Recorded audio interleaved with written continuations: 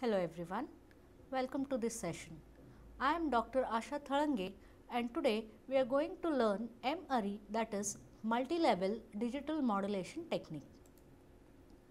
At the end of this session, you will be able to explain M-ary signaling scheme, state the difference between binary and M-ary signaling schemes and explicate M-ary ASK, M-ary FSK, M-ary PSK modulation techniques and represent the given bit stream in this form.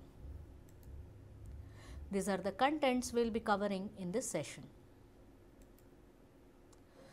Before actually starting with M-ary signaling scheme, pause the video and think that in any communication system, what are the two major resources that are used efficiently? Well, channel bandwidth and transmit power are two primary resources that are used efficiently in any communication system. Let us now see what is M-ary signaling scheme. We know that BASK, BFSK, BPSK and DPSK are binary digital modulation techniques. In all these techniques, signal is represented using only two symbols consisting of single bit 1 and 0. As only two symbols are used, two amplitudes, two frequencies or two phases are used to represent them respectively.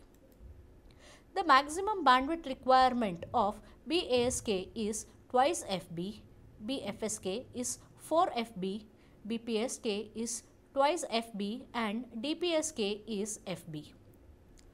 In order to reduce the bandwidth requirement, two or more bits are combined and transmitted as one symbol. The number of symbols in this case is always greater than 2 expressed as m equal to 2 raised to n. Thus, any signal representation scheme which uses the combination of two or more bits to represent a single symbol is known as M-ary or multi-level signaling scheme. Figure shows the bit stream represented in binary form. Here, the signal uses only two amplitude levels to represent two symbols 1 and 0. While this is a figure showing M-ary signal representation for m equal to 4. In this, two bits are combined to form four different symbols and as shown, they are represented by four different amplitude levels. If this M level signal is used to modulate the carrier, then this technique is known as M-ary digital modulation technique. In this, one of the M possible symbol is transmitted during each symbol duration Ts which is given by Ts is equals to Tb log of m to the base 2 where Tb is 1 bit duration. Now, based on the type of modulation used, M-ary digital modulation techniques are classified as M-ary ASK, M-ary FSK, M-ary PSK and M-ary amplitude and phase shift keying which is also known as quadrature amplitude modulation that is QAM. Let us see M-ary ASK modulation technique. In M-ary amplitude shift keying known as M-ary ASK, M different amplitude levels of carrier are used. This signal can be represented by the expression Si of t is equals to Ai cos of 2 pi fct present for one symbol duration and for i equal to 1 to m. Consider for example the signal for m equal to 4 and d equal to 1. Then the 4 amplitude levels will be minus 3, minus 1, 1 and 3 volts. Thus, the four symbols of M-ary ASK signals will be given by S1 of t is equals to cos of 2 pi fct, S2 of t is equals to minus cos 2 pi fct, S3 of t is equals to 3 cos 2 pi fct and S4 of t is equals to minus 3 cos 2 pi fct. Figure shows the BASK signal representation. Here, one bit is transmitted in one symbol duration and is represented by two amplitude levels of carrier. Whereas this figure shows the M-ary ASK signal representation for m equal to 4. As shown here, two bits are combined to form one symbol and four symbols are represented by four different amplitude levels of carrier. Also, we can see that in BASK 10 time slots or 10 symbol durations are required to transmit 10 bits. Whereas in M-ary ASK, the same 10 bits are transmitted in only 5 time slots or 5 symbol duration, thus increasing the bit rate. Figure shows the constellation diagram for binary and M-ary ASK signal. We can see here as the level goes on increasing, the separation between the two adjacent symbol amplitudes goes on decreasing. This makes demodulation difficult for higher M levels and put limitation on use of a higher value of M. M-ary ASK is also used to represent PAM signal. The circuit needed to implement M-ary ASK is simple. The major drawback of M-ary ASK signal is it is susceptible to noise and distortion. Let us now see M-ary FSK modulation technique. In M-ary FSK, M different carrier frequencies are used to represent M symbols. This signal is represented by Si of t is equal to 2 cos 2 pi fci of t during one symbol duration for i equal to 1 to m. These frequencies are chosen so that they are orthogonal to each other and thus there is no interference between the adjacent carrier frequencies. Figure shows the BFSK signal representation. Here symbol 1 and 0 are represented by two different carrier frequencies.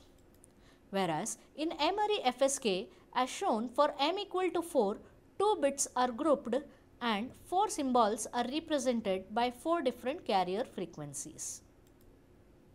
Figure shows the constellation diagram for BFSK signal and M-ary FSK signal for m equal to 8. As shown, all frequency components are orthogonal to each other in order to avoid the interference. The bandwidth for M-ary FSK is given by B is equals to m upon 2 Ts Hertz. Bandwidth efficiency is thus given by rho is equals to 2 log of m to the base 2 upon m bits per second per hertz. Thus, we can say that as m increases, bandwidth efficiency for M-ary FSK decreases. M-ary FSK has better noise immunity than M-ary ASK. All the transmitted M signals are equal in energy and duration. As the signals are orthogonal to each other, there is no crowding in the signal space.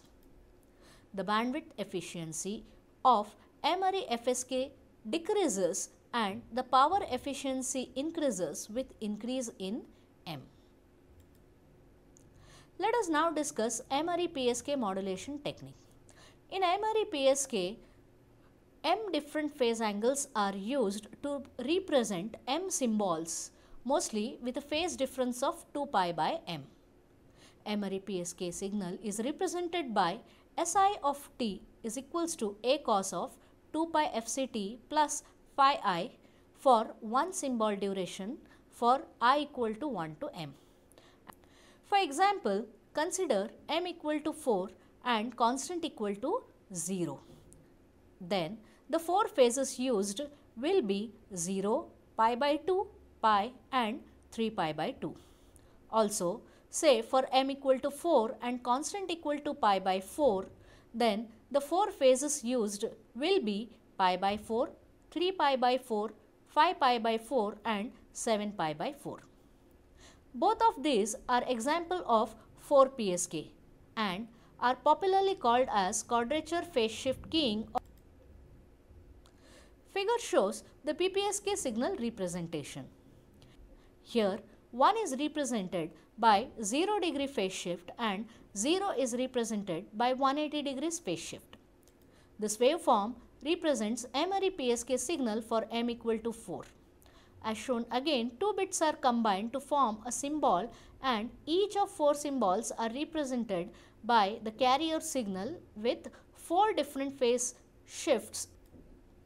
Figure shows the constellation diagram for BPSK and M-ary PSK for m equal to 4, 8 and 16. As shown, as the level increases, phase difference between the adjacent two signals goes on decreasing.